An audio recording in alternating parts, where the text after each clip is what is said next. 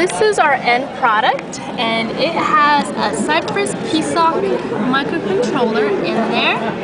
And what it does, it is a sensing unit for temperature, pressure, and humidity. And what it does is collects the data, it stores the data to an external EEPROM, and it also transmits it wirelessly through the 802.15.4 protocol. And over here, what we have is that same unit but a little bit spread out so that we can test that out in the different environments. So we have uh, the humidity and the temperature sensors and we have its reference points and we have the display coming out of the microcontroller sending that out and we have the PCI gauge for the pressure and we have a pressure chamber with a pressure sensor inside of it so that we can have a pump um, to pump air into it and therefore calibrate and measure a sensor for that And then on the other side, after this Zigbee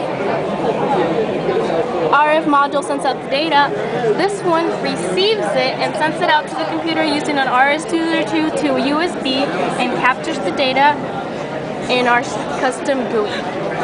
And all of this was accomplished thinking due to generous contributions of Cypress with their PSoC development board, which is standing right here, and also with the guidance of Dave and Patrick, and we seriously would like to thank them for all of their contributions and all of their help. I hope you enjoy this demo. Thank you very much.